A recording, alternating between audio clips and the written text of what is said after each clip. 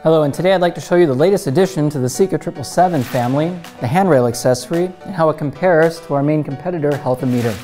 I'd like to give you four reasons why seca is the clear choice in a column scale with a handrail.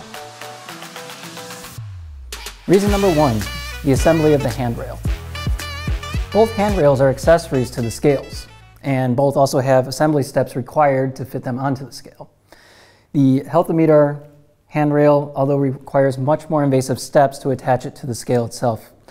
So um, let's have a look at that real quick.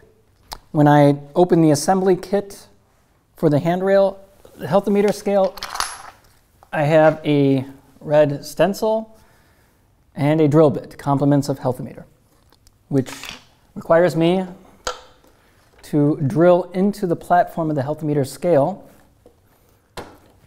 using this stencil. And um, I can see that while I'm pretty much guided, I don't like drilling into the, into the products themselves. And with the seca scale, no drilling is required. The platform comes pre-drilled and ready for mounting of the handrail. It's also important to look at the individual handrails themselves to see the clear advantage of the seca handrail in this case. Here I have a simple mounting bracket that fits right onto the existing platform of the scale.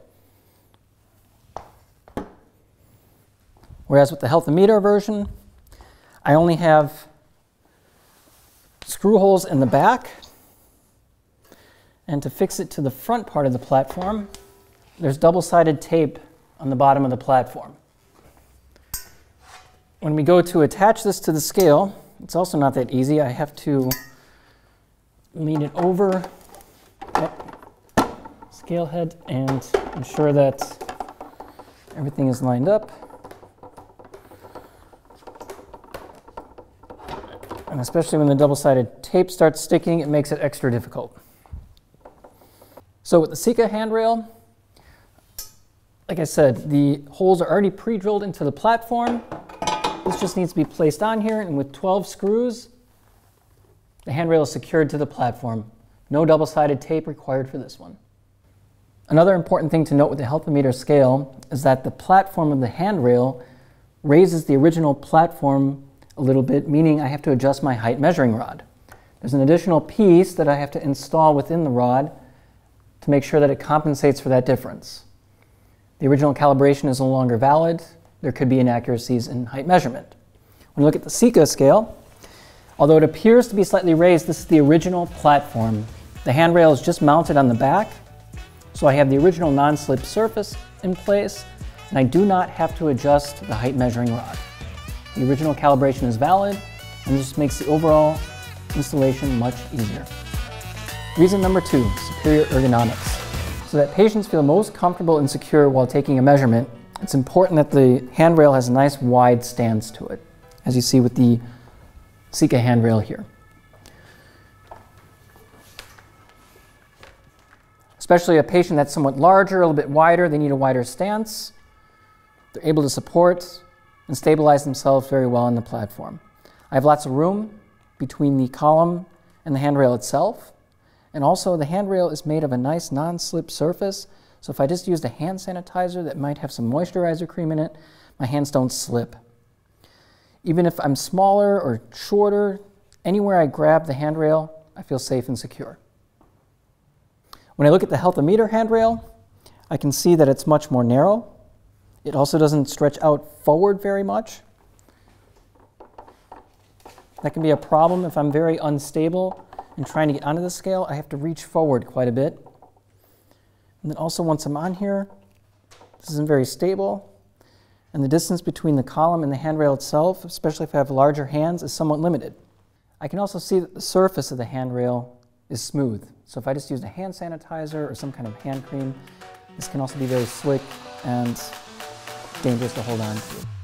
Reason number three, transporting the scale. The seca 777 series was designed for easy transport with its wide set, large, rubber-coated wheels. And even with the handrail attached, transportation remains a snap. And I can roll and steer the scale just as easily as before.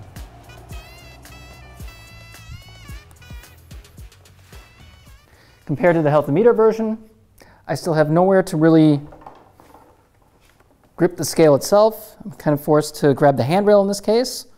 And as you can see, the wheels are really tiny, close together, and especially now with this additional weight of the handrail on the platform,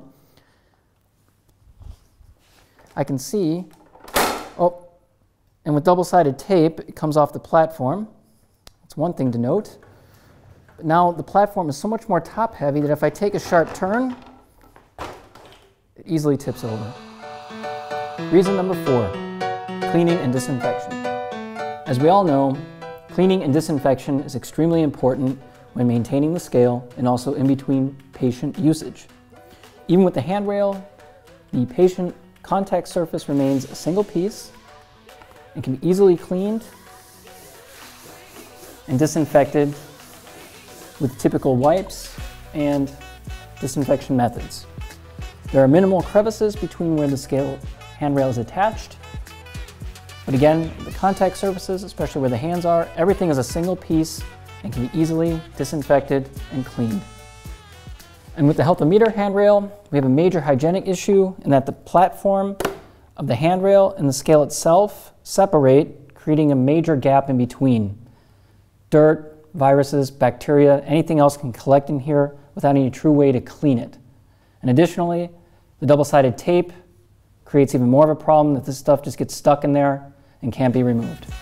From assembly to ergonomics, from transport to hygiene, it is clear that the seca 777 series with handrail provides the most comfortable solution to your customers and users taking height and weight measurements. Experience it for yourself today.